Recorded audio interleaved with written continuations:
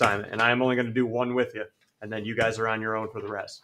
So let's take a look at number two. Uh, let me start from scratch yesterday, like I'm just starting to teach about indirect proofs. Let's say this is a proof on a mid on the midterm in two months. What are you going to see that says, "Hey, I better do this indirectly"? What's in this proof right now that says, "Whoa, timeout"? Got to do this proof indirectly. What is on here?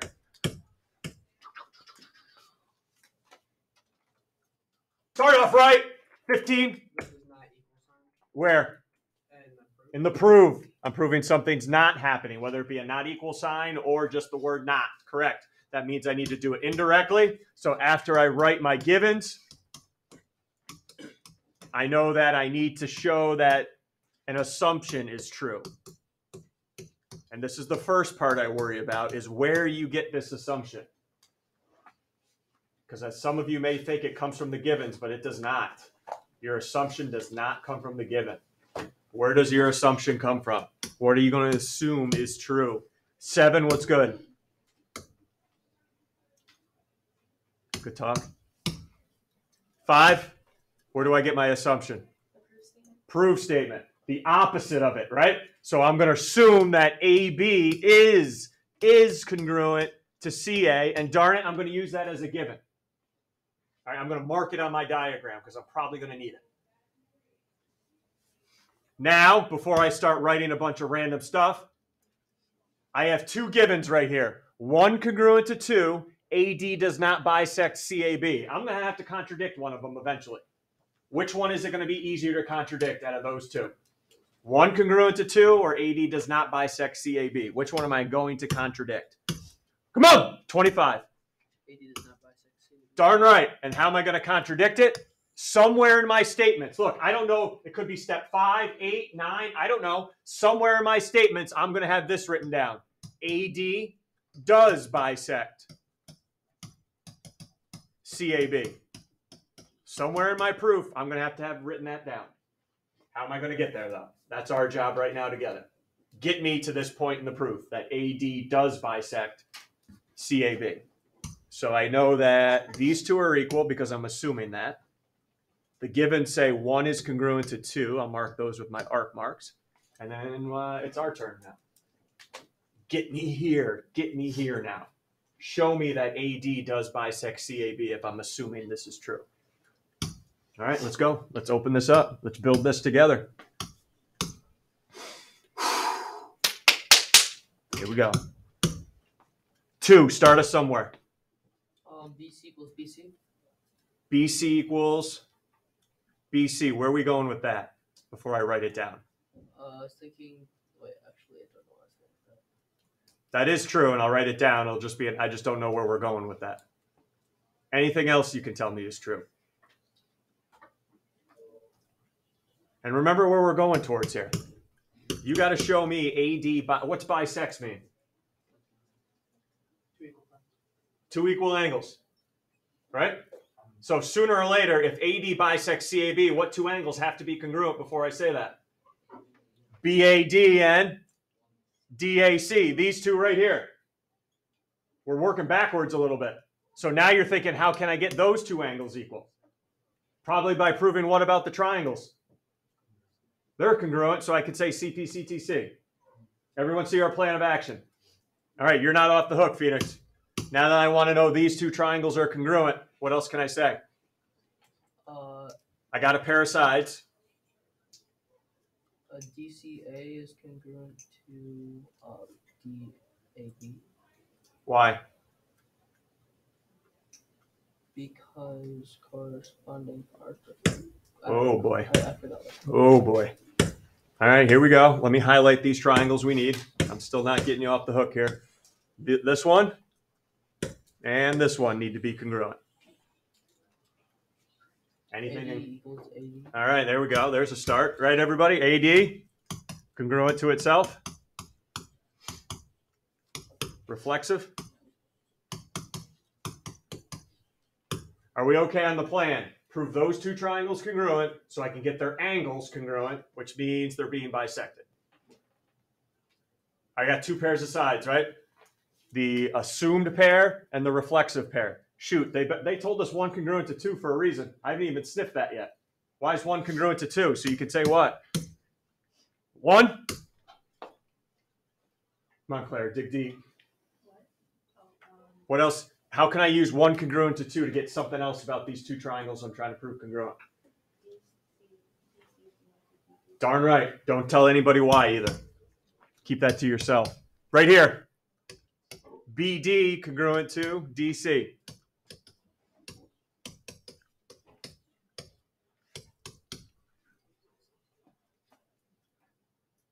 Why is that true? How does Claire know that? 10? How do we know that?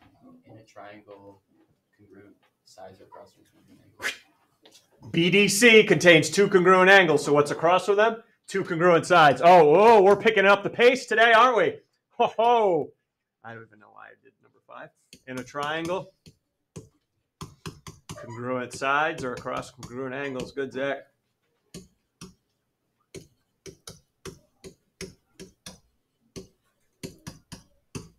Nice. Now are they congruent? I got enough info? Yeah, why?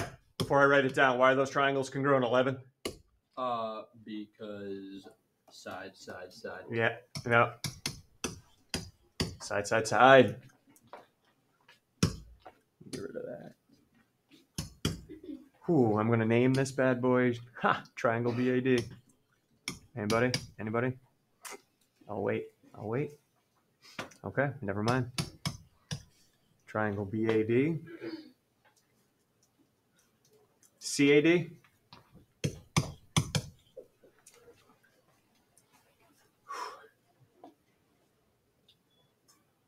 Why did I want those two triangles? So you could say what? Six. If the triangles are congruent, so are.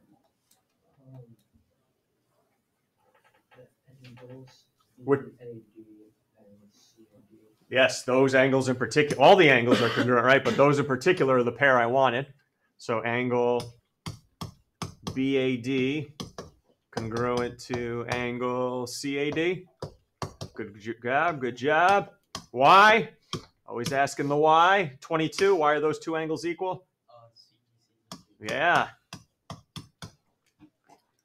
Acting like he knows something now. Good. Good. Too harsh? Too harsh? Sorry. Get over it. You're gonna get voted out next anyway. so- Let's be real in here, guys, right? I'll say it. I'll say it. Come on, that wasn't that wasn't obvious from the last one. I'll say it. But I let the big secret out, right? Yeah, okay. Yeah, real big secret. Campaign for yourself, right? Campaign for yourself. You never know. Miracles happen. All right. Good. All right, so seven. Now, when I get to step seven, if those two angles are congruent, what do I know about AD now? It's a bisect. It's got to bisect, right? If I just prove those two angles equal, AD is definitely bisecting the bigger angle BAC. And here comes my contradiction. We just hope our paper doesn't catch on fire. AD bisects angle. What's that angle there? BAC.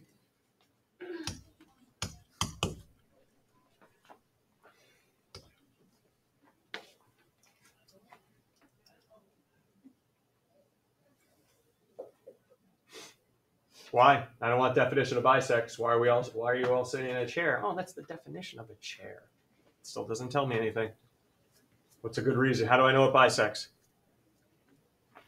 I'm not looking for something specific. Just talk to me here. Other than definition of bisects 24. Um, because angle BAD and angle BAC are congruent. Darn right. BAD congruent to CAD. You can say a, a bisector cuts an angle into two congruent angles, which you've already shown. Good work. And what do you guys have written down in step one and seven now? Contradiction. So that tells me that my assumption must have been false. My assumption is false. So if my assumption is false, the opposite of it, AB not congruent to CA has to be true. And how we end all the indirect proofs, assumption led to a contradiction. Uh, don't forget, don't forget, don't forget. Tell me what lines those contradictions are on.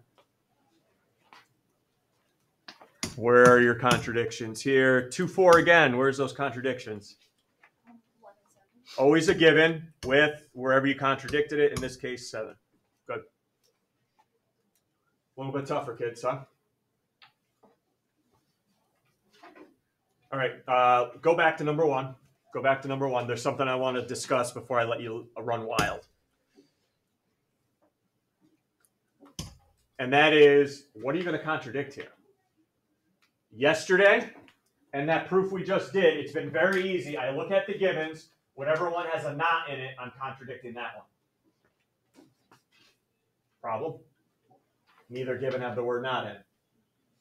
But I still have to contradict one of them. So before I let you start in your groups here, let's figure out out of these two, triangle ABC is scalene, AE and CD are altitudes. Which one do you think you're going to contradict and how we're going to do it? Out of those two, we're going to have to contradict one of them. John, what do you think? Uh, by proving two angles congruent. What's scalene mean again? All sides are not congruent. So how could you contradict that? By showing two angles or two sides. It makes basically we're saying what? Prove triangle ABC is isosceles. Yes. I just don't want you guys to get in the mindset that in your proof you have to write triangle ABC is not scalene. You could just write triangle ABC is isosceles, and that contradicts that statement. Okay, so that's what you guys want to end up doing is say triangle ABC is isosceles, and that contradicts that it's scalene.